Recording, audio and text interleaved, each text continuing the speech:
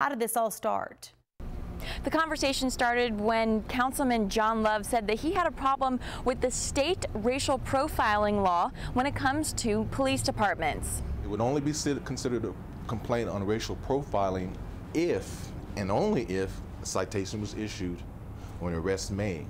Something both Love and police say is part of the state law. The racial profiling law has been attacked since 2001 and uh, we've been making the reports and following the law like all agencies have. Based on the law, the way that it is defined, there is no racial profiling. This information comes from a Midland police presentation showing the racial breakdown of more than 8,000 department stops. According to data arrests in 2014, 91 of the people were African American, 91 were white, and 215 were Hispanic.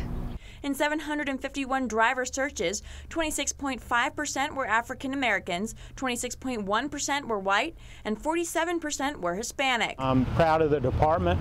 Like I mentioned in there, we're uh, a professional agency, and um, I'd expect no less than for us to comply with the law.